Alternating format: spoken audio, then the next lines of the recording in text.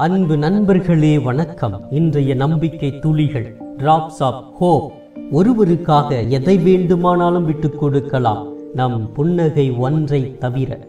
நாம் பிறருக்கு பணம் பொருள் நகை இடம் பதவி உழைப்பு நேரம் போன்றவற்றை விட்டுக் கொடுக்கலாம். காரணம் அதனால் நாம் இழப்பதை பெற்றுவிடலாம். ஆனால் விட்டுக் கொடுக்க கூடாத பொக்கிஷம் ஒன்றுதான் நமது புன்னகை. காரணம் புன்னகை நமக்கு நல்ல உணர்வை மட்டும் கொண்டு வருவதல்ல அதோடு உடல் ரீதியான இரத்த அழுத்தம் இயல்பு நிலை மன அழுத்தம் குறைவு நோய் எதிர்ப்பு சக்தி சகிப்புத்தன்மை போன்றவைகளை கொண்டு வருகின்றன.